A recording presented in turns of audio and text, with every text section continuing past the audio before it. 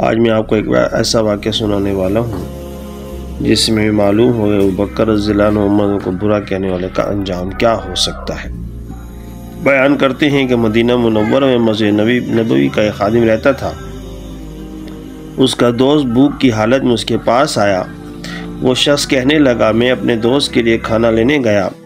अब्बास रजीलानों के मज़ार पाक के पास मुझे एक रावजियों की जमात मिली। मैंने उनसे हज़रत बकर, उमर की मोहब्बत के सद के खाना तलब किया। उनमें से एक शख्स ने कहा, आइए हमारे साथ। मैं उनके मकान पर पहुँचा। इतने में दो हबशी गुलाम नज़र पड़े।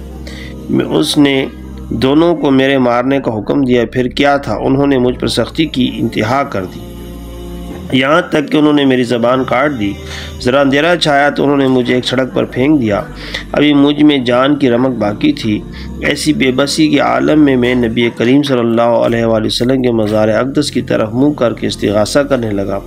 यहाँ तक कि मुझे नींद आ लिया। जब बेदार हुआ तो सही सालिम खड़ा था।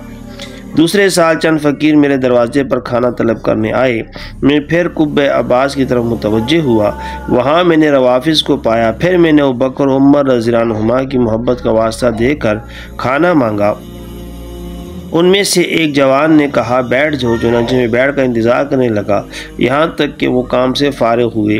वो नादान मुझे अपने घर ले गया। और उसने खाना दिया, फिर उसने एक बंदर निकाला। मैंने उस बंदर की कैफियत दरियाफ़ की। उसने कहा यह मेरा बाप है। गुजशत साल उसके पास एक फ़कीर आया था। उसने बकर और उमर रज़ी की मोहब्बत के सदक़े में खाना तलब किया। तो उसने सख्ती करते हुए अपने ग़ुलामों से उसकी ज़बान कटवा दी थी। मैंने सुनते ही कहा, वो फ़कीर तो मैं हूँ। वो बोला बर करम, तुम इस राज को पोशीदा रखना, क्योंकि मैंने मशहूर कर रखा है कि मेरा बाप मर गया था, लेकिन मैंने हजो बकर और उमर रज़ीलान को बुरा कहने से तोबा कर ली।